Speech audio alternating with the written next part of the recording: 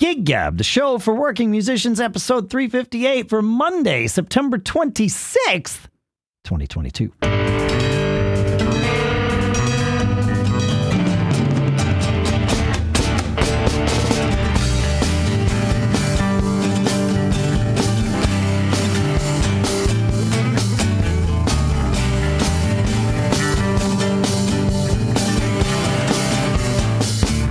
Folks, and welcome back to Gig Gab, the show by, for, and about working musicians here in Durham, New Hampshire. I'm Dave Hamilton. Here in Nipomo, California, it's Paul Kent. How's things in Nipomo, my friend? Things are okay. It's turning into autumn. It's kind of nice. We Yeah. get a nice little Indian summer out here. I um, I had my friend Mary Ellen, who I sing with, was down celebrating her birthday this weekend, and she got to sit in with me at one of my favorite gigs at a really nice winery. So that was a nice moment to play that. She's just got the most amazing voice. Yeah, yeah, And, she's a great yeah, singer. You've met her. Yeah, Yeah, great singer. yeah, and uh, it was just nice. Nice. I, I my music life is so varied right now between the big band, a fair amount of solo work. I also had a duo gig this weekend with a guy that I just it's just one of those things. You know, it's like it's like the way you've described some of the some of your smaller unit gigs where it's just nice. You walk in, yeah, there's no tension ever. There's total help loading in, loading out. you like all the material, so it's you know it's just you get a kick out of playing with each other. Yep. And it's just and they, and they're generally two hour gigs, which seem like a vacation. You know, they just two hours seems to go by really fast. yeah. Two hours is is is short. It's interesting. You mentioned the the sort of uh, what I'll call low stakes gigs, where you just feel like everything's right there. Because I I had I I had I have been sort of cogitating and and twisting this concept around about low stakes gigs versus high stakes gigs. I had last weekend. I didn't have anything this weekend. I was off this weekend, which was nice. It was my birthday, and really had like a nice low key weekend with the family, and it was that was actually really nice. But um, the weekend before, I had two gigs on Saturday, which I'll talk about. Uh, a bitter pill gig in the afternoon, a fling gig at night, and then earlier in the week, uh, like late Wednesday night, I got a text from uh, my friend who runs a couple of the clubs that I play at with Monkey Fist, and we I I haven't done a Monkey Fist gig all summer, and uh, he texted me and he's like, "Hey, you got any anything you can put together for tomorrow night?" Uh, and I was like, "Oh man, okay." He's like, "Yeah, somebody canceled." I'm like, "All right, well, let me see what I can do." So I texted Johnny and Maddie, and uh, John wasn't available, and so but Matt was, and it was like, "Oh, we can do a duo." Okay, fine and it was a six to nine. It was outdoors at this place, uh, new place up in in Somersworth. I can never remember the name of it. Uh, wait, maybe it's on my calendar. God, I should be able to. The Big Dipper, uh, really laid back outdoor thing, like picnic tables. There's there's food there, uh, and there's like beer and seltzer and wine and stuff. They had on Thursday nights. They have a uh, like an axe throwing, a portable axe throwing th- guy that like comes and sets up his thing, and so they had that going on. It's it's super super chill, laid back, and uh, and of course there was no pressure on us to have even advertised this because you know, twenty four hours prior to the gig ending, I didn't even know the gig was going to start. Right, you know, so it was totally laid back. Maddie and I got there, and it was it was chilly. Y- you know, it's like you said, it's getting to be fall here, and it was one of the cooler September nights. Um, and so we started at six, and we played straight through till nine. We never stopped. We got to maybe the 730, 740 mark, and I asked Matt, I said, You want to take a break? And he said, uh, Yeah, yeah, we can, sure, we can take a break. And I said, I don't know though, because like my hands are warmed up now, but they weren't at the beginning. And if we take a break, we're going to have to go through that again. He says, Yeah, uh, when when I said we could take a break, I just said that in case you wanted to. I wasn't going to stop. I was just going to keep playing. I was like, okay, fa- fair. So let's just plow through. But it was really nice. I hadn't seen Maddie all summer, and it was as much us just like hanging out and and catching up with each other as it was playing the gig. It kind of all melded together into this this wonderful little thing of us just playing and singing and chatting, and and it was a wonderful little gig. Uh, I really enjoyed it. And we've got a monkey, cool. yeah, we've got a monkey fist gig coming up on Friday that uh, with John that uh, we're also I'm also looking forward to for the same reason. But then Saturday I had a an interesting scenario with this this idea of of low stakes gigs versus high stakes gigs. So the Bitter Pill gig was a noon 30 one set thing at this festival fair thing that happens outside. The weather was perfect. It was great. And you know, it's it's again not our crowd, not we just we just show up and play. We were booked, we play, and, and we played well. Like everything went great. But I'll say low stakes. I mean, with any gig, I want the music to be fantastic, right? Like that. I don't mm-hmm. when I when I say low stakes, I don't mean I don't care about the music. I just mean in terms of really, I guess what I'm talking about is filling the place with people was not our job, right? It was this yep. was okay, great. So we're the we're the entertainment and just a cog in the wheel for the day. They've got a bunch of bands and we show up, we do our hour and and off we go. And then a couple hours, you know, I get home and a couple hours later I leave for this fling gig. And I know and, and the bitter pill gig went, went great. I leave it for this fling gig at Flight Coffee, which is 100% ticketed. It's up to us and the venue and the venue does a great job promoting too. Like they, they, you know, it's great. But it is a ticketed event, and it is up to us to, to, you know, draw people in. And on the way there, I'm like sweating it, like, oh man, like I don't know, you know, did, did we sell enough tickets? Like I don't, I don't, I don't know how many tickets we sold because I didn't book the gig, so I'm not in touch with the, with the venue and the promotion side of it. And it's like, man, are we going to be playing a you know, is this going to be a paid, Nobody. lightly paid rehearsal or like yeah. what, right? What's it going to be? And is it going to be embarrassing? And like all of those things are going through my head. And, and that's when I started to have this, I'm like, why didn't I like, what, what, what happened earlier that, that this was not the case? And that's when I started dissecting this idea of, you know, the high, the high uh, stakes and low stakes gigs from that standpoint. You know, the music's always kind of uh, high stakes as far as I'm concerned. But I wasn't worried about the music with either either band. You know, I knew that was going to yeah. be good.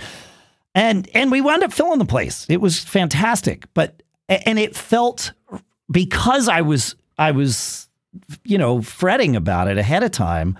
Once the place did fill up, it felt great. And you know, I I was reminded of what I would go through at every one of the Cirque du Mac parties that we would put on together. Like it was, I was always, I don't know if, how much you remember this, but I couldn't be in the room when the doors opened. I, right. like, I, it was like, nope, empty room, bad. Like this is our party. If, if this fails, like it's a huge, it's yeah. what's that? Yeah. It's on me. It's on me. Yeah, right. Exactly and every time there was a line out the door and it was never a problem right, right? but but that first half hour while the place was filling up I, like i just hated being in the room. And i i would much prefer to like leave and go eat and come back and like have to you know wrestle through the line to just get in and up to the stage so we could play.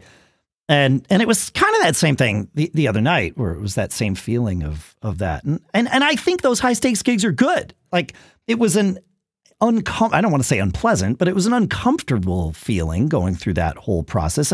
And we've had those with Bitter Pill too. It just that day it just happened to be, you know, a, a flip where it was Fling had the high stakes gig in terms of drawing people and Bitter Pill did not. But yeah, it was an interesting thing to experience, you know, two gigs in the same day. It was like my approach to them, my mindset as I was yeah. driving to them was radically different. It was just interesting. So well, I'll share a little bit about that. So we have one coming up this Saturday night. So this club that we've played at for 10 years and really have had a 10 year run of great success there. I mean, we built the place, you know, and I, I think I told you the story. This is Charlie's. Oh, that, yeah. Um, I've been there, I think. You have been there. And, yeah. um, when the when the guy who had previously owned it took it over, he wasn't a big believer, you know, in paying bands and you know not sure whether music had value, and uh, he he paid bands pretty low, and there were bands who would take it. And so I came and said, well, here's here's the thing, good news. I'm going to take all the risk out of your hands, and I knew it was a good, you know, it was the town that you know most of the band lived in. It was I just knew it was a good situation. It was a nice room. Yeah, you know, g- good bar staff. It was a good room. So I said, good news. I'm going to take all the risk out of you. I'll play for the door. He thought this was the greatest thing. Like, you know, I don't have to pay you. And, and it wasn't that much that he was paying yeah. other bands, right? And we immediately, you know, started a run of packing the club. And it became a, it became kind of a love hate thing because he was happy to have the bar revenue. But after he saw what we would be doing, you know, he, he would the thought would cross his mind that you know I should get the door and pay them you know some some fee fixed. Yeah. When he when he did the calculation of how much we were probably taking in compared to what he was paying the other bands, right? Anyway, like I said, we had a good ten year run of monthly gigs. We would take off in the summer when people could see us for free, you know, fifty times. Um, Right. But pretty much September, September to May, April or May, once a month. And um, it was a great run. All right, this guy sells the club. New guy comes in with the club. Club was closed during COVID. Um, when it was time to reopen the club, uh, they asked us, and we played, and we overpacked. I mean, ridiculously packed the place. Combination of people who wanted to see us, combination of people who were happy to get out after COVID. It was just, it Sure. was ridiculous. It was Yep. great. Yep. However, there were a lot of operational issues under this new owner. You know, poor bar staff, poor wait staff, you know, slightly more aggressive security staff. I mean, there, there were it was not the same club, right? Right. So skip ahead, and the second time we play there, after packing the place the first time, was about three, four months later, as I best recall. Uh, the new ownership asked us to pre-sell tickets. Oh. Uh, they wanted to get an idea how much to staff the bar. They said they fixed the bar staff, got better people, all these types of things. But so I put the tickets for sale. Not a lot of you know on our normal nor, normal Facebook based marketing, which is where the primary place where you know I'll, I'll do like a, a one or two mass emails one a month maybe but facebook has been you know the primary driver for a lot of this stuff especially with this group to come see us at this venue and wasn't really much uptake in people wanting to buy an advance ticket Sure. And uh, it was interesting because the woman who was acting as the bar manager was asking often, "How's it going? How's it going?" Which creates a whole different set of tension. You know, that's that's Oh, a yeah. That's yeah. you know. So so you talk about the high stakes. So, but um, and then we ended up filling the place about seventy five percent. First time, I think, certainly the lowest draw we've had there in years and years and years and years. Uh, we, you know, we take the door, so um, you know, we didn't make as much as we usually make. Um, and now we're up to the next gig. Then, so this is now, you know, this, that was last April or May, I think, and uh, and now we're out to here. And again, we put some on sale in advance. Really, not much uptake. And I think, a most of our audience knows that you don't have to buy an advance ticket. I mean, it's a club, right? It's not a, Yeah. Right. you know, it's a club. Yeah. So uh, they're not. Our audience is not used to buying tickets. I think that's one of the reasons it goes on. We have a lot of traffic on the Facebook invite. I mean, that's never. All that's an indication is that people know that the event's going to happen. It's There- not an there's indication awareness. That's right. Show up. Yep. That's all that you know from this is that you know at least people are talking. All the guys in the band have been good about sharing, and you know, uh, but you know, I don't know what's going to happen. But that high stakes, low stakes thing, the the ticketed sales are a different thing. Then we're selling our, our Halloween one, and the sales are going great for that, and you know we're we're we're crushing it. But yeah, I, and you know I'm not going to get too stressed about this club because if our audience doesn't want to see us in this club, and this this is the only way to do it, and if and if maybe that you know time when the service was really poor and the drinks were expensive, and you know maybe that did put a little wedge that it's not as enjoyable a place to see a band even that people like. Yeah. And it also seems like there's, I don't know about in your area, in my area, it seems like a lot of bands have come out of the woodwork since COVID. It seems Yes. like a lot of people learned to play guitar while they were sitting at home. Well, and yeah, there's a lot more, a lot more bands and a lot more places offering music right now. I don't know if that will will last forever or whether it's just part of the cycle of coming out of a of a shutdown. Is people trying to trying to grab the gold, you know, and, and get new audiences. But Right. um, Yeah. I, things are different. More I've competition. I've seen that for sure. That there's there's just there's more bands playing now than there were last year. Eh, There's just more competition. Whether whether there's more bands than there were five years ago, that's hard to say. I don't think that's the case, but certainly more than last year. Yeah, more bands playing out. So, which you know, that's that makes a difference. Absolutely. Yeah. But I would refine what you said about the high stakes, low stakes. I mean, it's not good and it wears on your psyche and it's a little hard on your ego if you don't sell tickets. It doesn't change how good a musician you are, how good a musician your band is. Sure. And I think that's important. I would actually characterize high stakes is when I'm playing on a bill with other really good bands. That that's that's what gets our blood going is like why is that? Have to show because you want to show up and you want to show out and you want to, you know, you want to you want to be the best band on a bill, right? Oh, you want to really do your job. So Huh. that's that's what I would call high stakes. Is like, you know, and along with that is the you know. Especially if it's a multi-band bill, you know, will we get a decent sound check? You know, can we, you know, do we, uh, will we be comfortable on the stage? Is you know, all the, all those types of things. That's that's the stress part of that. I mean, I, I mean, we play. I mean, I it, I know Yep. we're going to play, but is it going to be that magic thing where you crush it because everything is butter, or are you having to kind of like, you know, fight it all night to get over the top? Yep. I, yeah, I, that's I, high stakes. That's interesting. So with different definitions of high stakes. It's fascinating. Yeah. Yeah. Yeah. Yeah. Yeah. It's I I don't huh. I I, I totally understand what you're saying. Uh I generally don't experience that. I I actually really like playing with other bands and I like playing with other bands that are good. Like I I I, mean, yes, I like it as well. I just I just want to crush. It, it is a competitive spirit. Yeah. that I just want to you know really you know do the best that we can possibly do. I mean, you want to do that every night, but Yeah. you know, if you take if you play after a band that absolutely kills it, right? Yeah, I don't. That doesn't. You- that doesn't bother me. That that energizes me. That that's like okay, Yeah. let's go. I like. I I love that whole sort of co-opetition thing, it, where the, everybody lifts the night, and then it's just a, a rousing success. I, I I I don't mean to to dismiss what you're saying though. I like I totally get it, I, and I don't think there's anything wrong with it. I just it's not. It's not how my mind works in those scenarios. I I Which is so weird for me because I know you and you are like a very competitive business person. Like you turn over every stone and you, you know, you you are a competitive human being. yes, I am. Except for this part of your life. It's really weird to me.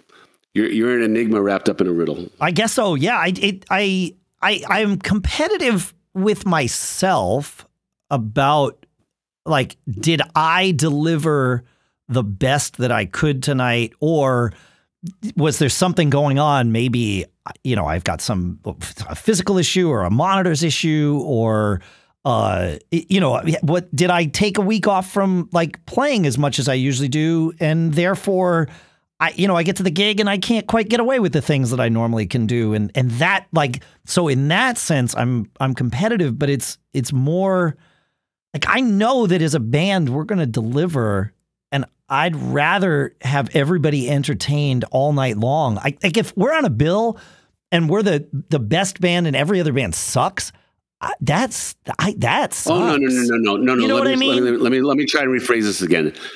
High stakes is not is not fear of playing with other bands. It's the competitive fire to be your absolute best Yeah. when there are other bands on the bill. It's not it's not a worry.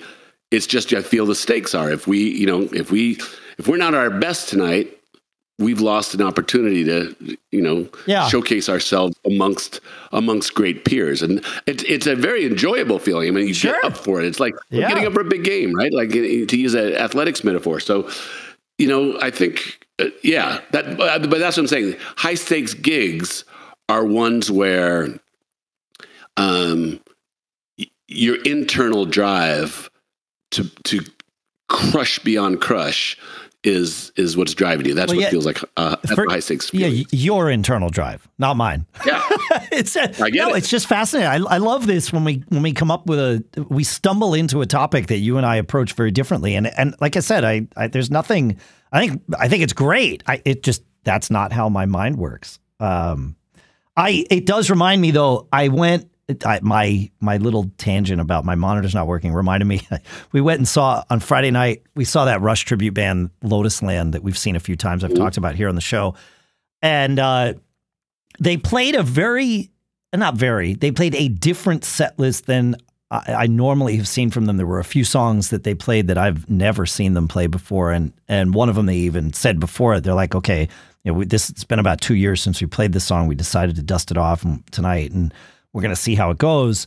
And they started playing a, a song called Natural Science, which is arguably one of the most complex uh, tunes to get through arrangement wise. It's just got sections that really just don't fit together, but but you know, if, um, except if you put them together perfectly. And so I was like, oh man, okay, well here we go. And th- the drummer had been like trying to get the monitor engineer's attention a few times earlier in the show. And about halfway through natural science, he did something I've never I don't think I've even done this before. Uh, I've I've done something like this, so anybody who's played with me will will understand what I'm saying. But what he he somehow while he was playing, not just took his monitors out of his ears, but completely removed them from his body. So he's like extracting the cable from behind his shirt and like threw his monitors on the floor. I mean, he threw a tantrum. Like that's what this was, right? And I that's I said that to the my friends at the, my family and the friends at the table uh, after the the song. I'm like that, that. Let's all be clear. Like that was a tantrum. He did. Mm-hmm. If he didn't want to have to listen to whatever the mix was in his monitors, you just take him out and let him hang. It's you know it's going to be fine. Just letting him hang around your neck. It's no big deal. We've all done it. This was he had to put on a show that he was pissed. You know, and then he crushed the rest of the tune. So you know it, mm. it worked out for him. But yeah, it was it was it was a logistical feat watching him negotiate this you know, super complex Neil Peart drum part with fills while he's extracting his his in ears from his body. It was really fascinating to watch. And then after the tune, he went over and like gave the monitor engineer a piece of his mind, put his monitors back on. And then guess what? The monitor engineer moved the curtains, uh, the legs on the side of the stage so that he could actually, you know, see him, which mm. seems like maybe that should have happened during sound check. but, right. you know, sometimes those things don't go well. But yeah, it was funny to uh, to watch the tantrum and know that, I mean, we've all, well, I say we, I'm using the royal we. I've certainly had my tantrumy moments on stage about things like that specifically, you know, where it's like the, the gear is just not working or the mix is not right. It sucks. Um, but, uh, you know, you get through it. You make it through the gig and, and you crush it. For sure. That's how it is. So, yeah. Uh, we have a couple of listener questions, comments that came in, and I would love to talk. I don't know where this one's going to go, but I, I figure I'll share it because at the very least, it's just therapy for us all to know that it's not just you. It happens to everybody, including listener Jay, who sent this at uh, 2.30 a.m. Eastern time. I don't know what time it was for him, but I happened to be up because, you know, night owl, musician, nerd, that's how it works. He says, I wish you guys had a 24 hour hotline for band counseling. My mental health is strained. And there were some smileys in here, so I knew that things were okay. You know, uh, he says, We have a gig tomorrow at a quote unquote music festival. And consequently, it is one of our better paying gigs. I asked the organizers to send me a picture of the stage setup so that I can work on a stage plan. And he attached a photo of a trailer, uh, a flatbed trailer with uh, sides on it, some sort of rails or something like you might put like maybe cows on this or something. I don't know what you would use this thing for. And it's set there on the ground on concrete and very clearly is not level. He says, What have I gotten our band into? P.S. There are no lights provided and we can't rent lights at this late stage. They're all sold out. Help. So, uh, my first thought was, well, you want a level stage like that. That's a big deal. And I say that as the drummer who has to sit and try and play drums, either going you know uphill, downhill, or or one way to the side. That that can be a real pain in the neck. But I'm sure it's a pain in the neck for everybody else playing uh, as well. So uh, you know, trying to adjust the lifts or something to get it level.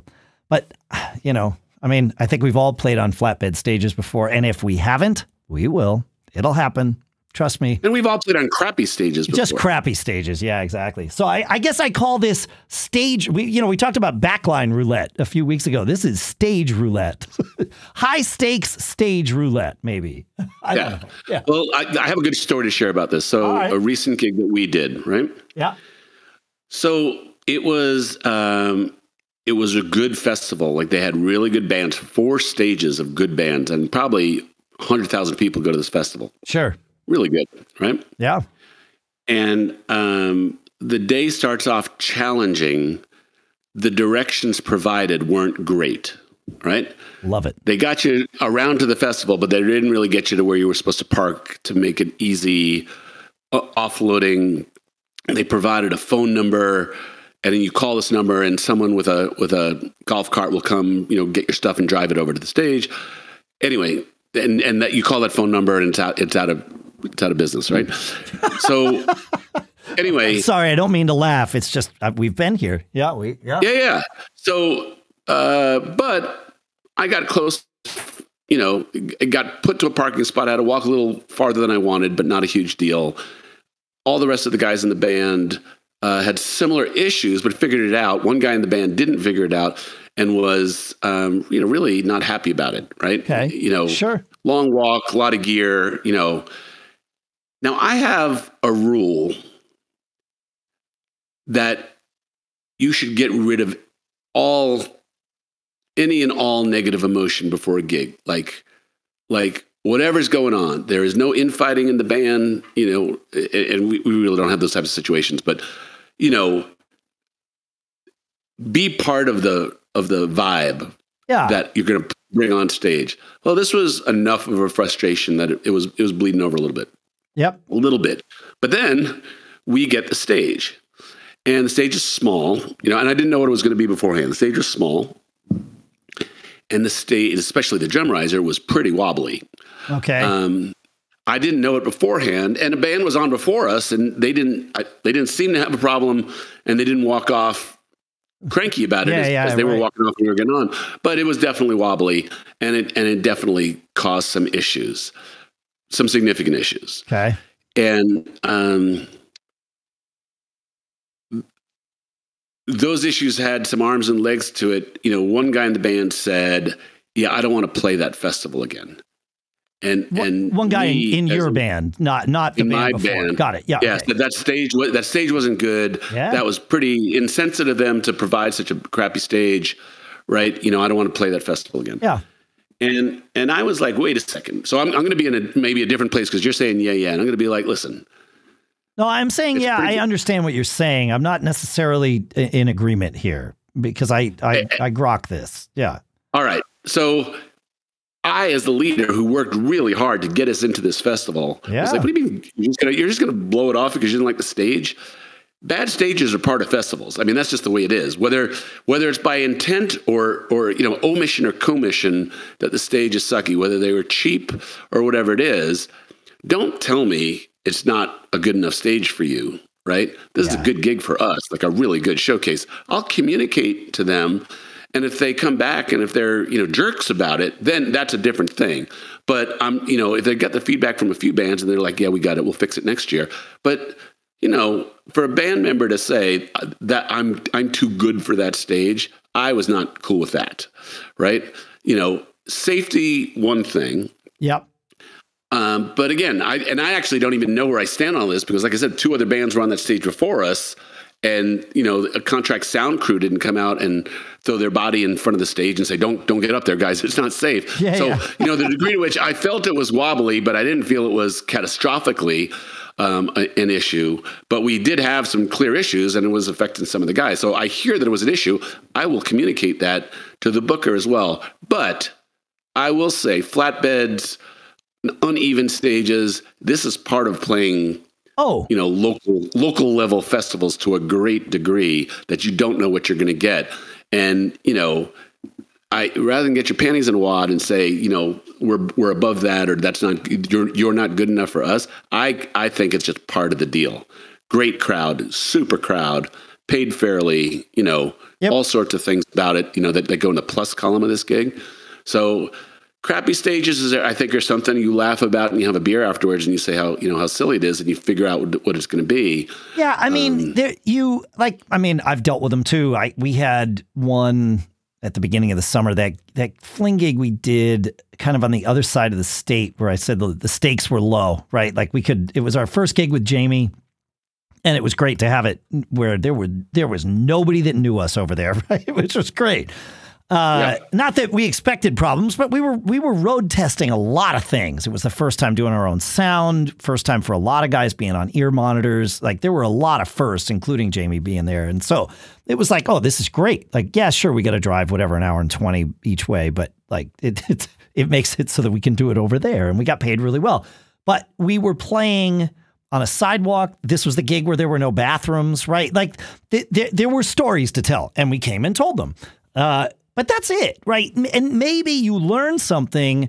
Like, for example, when we came into this gig and I realized we were playing on this sidewalk that was not level, and, and there's no way to level a sidewalk, as we all know, you know, it's not in the moment like that.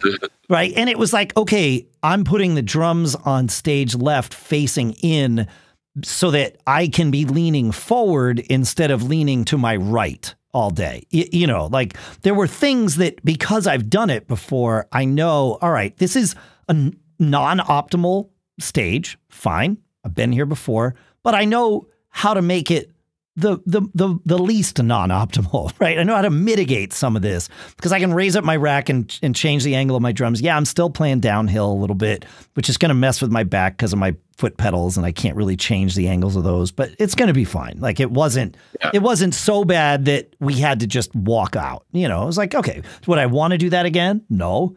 Would I do it again? Well, the reality is I know I'm going to. Whether whether I choose that gig at that same spot again or some gig where I have no idea until I get there, it's going to happen again. So to say I'm not going to do it is really kind of a, a, a difficult I, I, a difficult thing. Be careful about drawing lines in the sand exactly. over anything, right? Yeah, because I mean, you're going to be in that same scenario in a different place again. Now, like you said, if the people are terrible and like not pleasant to deal with and all of that, that that means a lot more to me having right. good people to deal with than the, the, the logistics of the stage. And I, I, I, suppose I should say within reason, because there certainly are scenarios where it's like, yeah, no. it, you know, I we could come up with them. I don't think I've ever experienced one, but but know. I think those are the those are the those are the sins of commission. Those are when yeah. people literally don't care and say you deal with it either way. Again, I, I was a little stuck. I'm still not to the bottom of the of the situation because, like I said, two other were on that stage earlier, and and the one right before us walked up, didn't say a thing. Usually, if if if it's bad, you'll say something to the next band. Be careful that stage is you know whatever it'll be. But I would say lines in the sand are a are are a tough way to live, and and the unknown is part of festival playing. Unknown sound systems, unknown yeah. backlines, unknown stages, unknown start times, unknown parking. I mean, I just think, you know, especially art and wine festivals, these are usually done by local volunteers. You know, sometimes they're victims of their own success and they grow, you know, especially this year, all of them were really packed this year. Yeah. You know, I I would just and again, we, we had some bubbling over frustration from the directions stuff earlier. And I think that that might have added to the overall frustration level of the day. Never make a decision within 72 hours after after a troubling gig. You got to sit with it a little bit That's... and you know evaluate what the you know who's at fault. Is someone trying to screw you? Is someone did someone make a mistake that can be fixed? I mean, there, there's a lot to see, but when you're in the throes of of uh, of uh, animus about it, it's it's hard to hard to make a decision. It is. Yeah, yeah. I, I agree. Yeah. Yeah, yeah. Yeah. Good stuff. So, yeah, we'll, we'll deal with it. You know, uh, we all will because it's going to happen again. Hey, uh, we got another email into feedback at giggabpodcast.com. This one from Wade, who says, Greetings from Northern California. I am in a small classic rock, classic country four piece band, and I kind of took over uh, set list creation. He says, uh, are there any good rules of thumb to follow? I usually put the good chunk of our bangers in the last set, but uh, we also we also do two to three or even four songs from a single band or performer. So I like to spread those out as well. Okay, yeah, yeah, uh, great. And he says his keyboardist got us uh, got him into us. So thanks to thanks to you, Wade, and also thanks to your keyboard player. Um, yep. I mean, I think you you and I both enjoy crafting set lists. I've been really like ah the, the set list I put together for Fling at Flight uh, on uh, that Saturday night gig, the high stakes gig. Man, it flowed perfectly. God, it was, it, and it was, it was one that I slaved over and rebuilt a few different times because I want it to be different from, you know, we're playing all, pr- pretty much all our same originals every gig, so trying to find different ways of making them flow that's still really good and keeps us engaged and knowing where to throw the audibles in and all of that stuff. It, it's been a while, and I I'm really stoked to be back into it. So uh, That's cool. it, it is cool. But you know, I mean, I, I have a lot of thoughts to share about it. My my favorite thought, and and then I'll throw it to you, Paul, is uh, my my favorite rule of thumb is that the third song of the night is super important. Um, that's I don't know why, uh, but I've always sort of targeted that. Like that's the the crowd is now paying attention. You're warmed up, and now that's the point where it's like a make or break kind of thing in my mind. It's like the third song's got to be got to really like set it set the tone. I think. So, Yeah. yeah. I don't know, but that's Right. that's just So one. my- Yeah.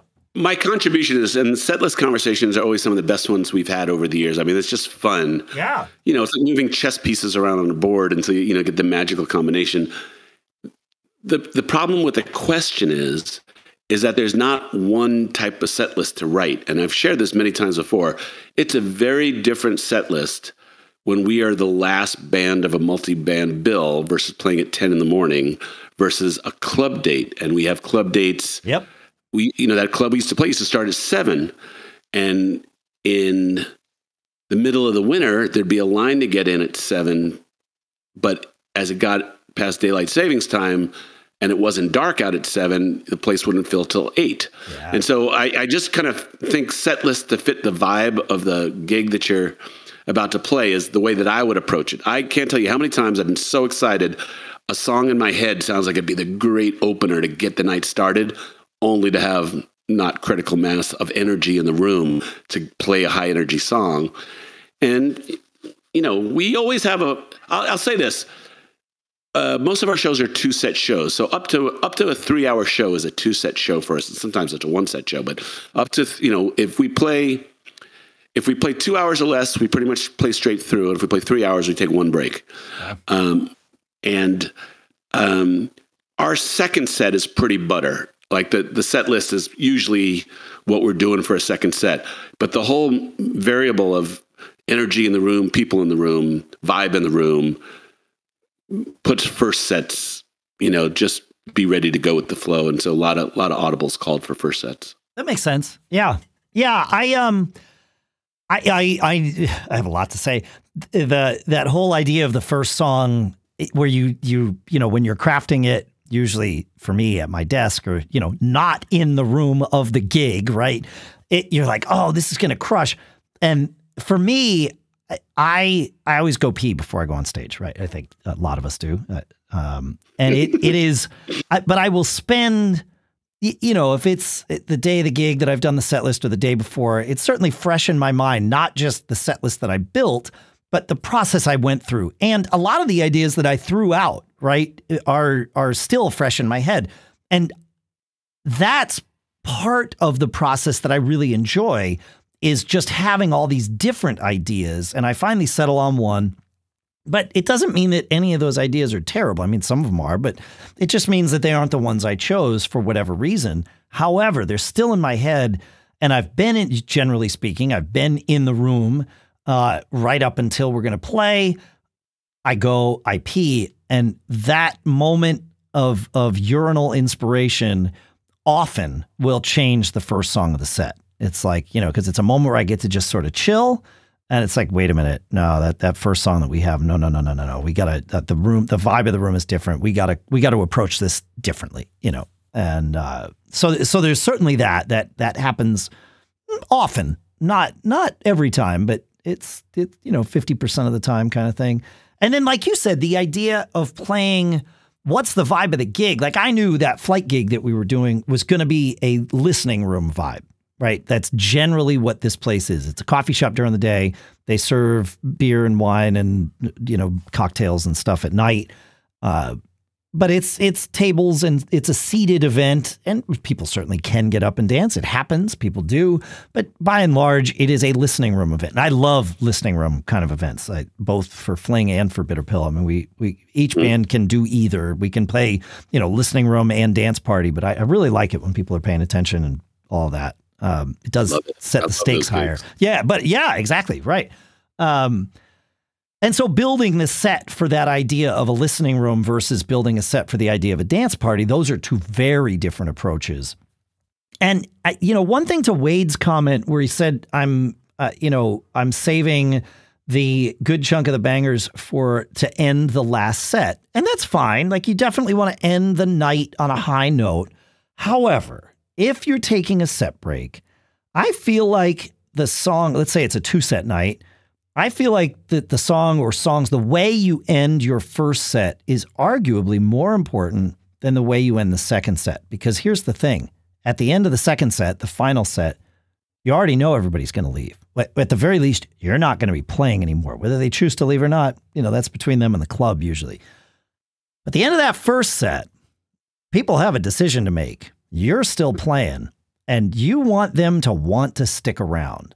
And so that end of the first set, I've always treated with kid gloves. I very careful about getting too creative with how I mean sometimes it, it is good to be creative with how you end the set, but it's gotta end strong. I, I won't put uh, you know, a brand new song to end the first set. You know, I might put a brand new song. If it's high energy, I might put it to end the, the second set. And, you know, things are a little looser, the band's flowing well. But that that end of the first set, that's that's that's important decisions to make there. And I Point. yeah, I, I don't know. I like I've always thought of it that hopefully way. it's not. Hopefully you don't. You have enough good stuff that you can put at the end of both shows, right? Correct. Both Correct. sets. Yes, absolutely. Absolutely. But don't yeah, don't throw away the end of the first set and say, well, we got to save every single one of our good songs to, you know, play the second half of the second set. That's where it's really going to crush. It does. That's you're not wrong, but if there's nobody sticking around to see that second set, it doesn't matter. Yeah. You got to you got to set the hook. And and you know, for some gigs you know that the people are just going to be there and that's okay. That's great. In fact, I love that. But if you don't know that, then it's your job to to sell the whole way through, you know. So, yeah. I I don't know. I, I I like I like crafting the flow. I like thinking about all of that stuff and uh, it's been nice getting back into that with uh, with these recent fling gigs. It's it's good. So, I got to be careful otherwise. I know Bitter Pill uh, some of the folks I play with in Bitter Pill listen to this, and if I'm not careful, I'm going to wind up getting that job at Bitter Pill too. So, I, I, not that that's a bad thing. It's just it's you know Dave Bang Drum, uh, Dave do sound. So you know, I mean, it's like we well actually I, I do sound with Billy, which is nice. We all we all pitch in on that. So, uh, I don't know what else do we got. Do we have anything else, or is this uh, is this where we're is this where the end begins? I think we're good. All right. I like it.